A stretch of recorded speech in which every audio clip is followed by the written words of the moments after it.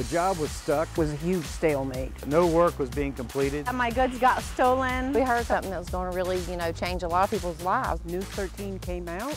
We had an interview. I got a call to see if they can do a story. The grease that got the wheels moving again. We found it out by watching Channel 13 News. We began to see movement on the job again. And the next day, they, they brought them back, everything that was stolen. It's a platform for lots of good things happening in the communities. And I thank WLOS.